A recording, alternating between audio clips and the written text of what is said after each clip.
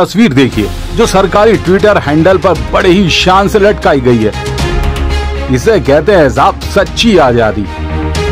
सरकारी महकमा सरकारी आदेश के नाम पर कैसे सरकारी कायदे कानून को झाड़ पोंछ कर सुखा डालते हैं इसका नमूना मात्र है साहब। जरा देखिए रैली में शामिल भैया लोगों को।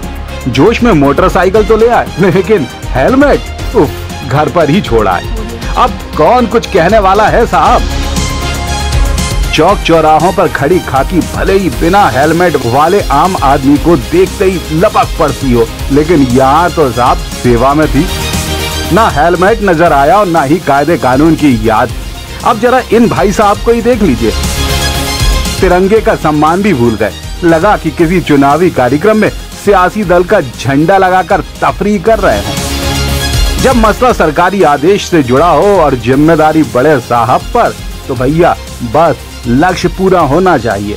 अब चाहे कायदे कानूनों की लंका लगे या फिर बने मज़ाक। माजरा मध्य प्रदेश के बड़वानी का है साहब कलेक्टर साहब के आदेश पर रैली निकाली गई। मकसद था हर घर तिरंगा अभियान का संदेश देना, लेकिन लापरवाही की हद देखिएगा। संदेश दिया जाना था तो कुछ और, लेकिन अति उत्साह में कुछ और ही चला गया।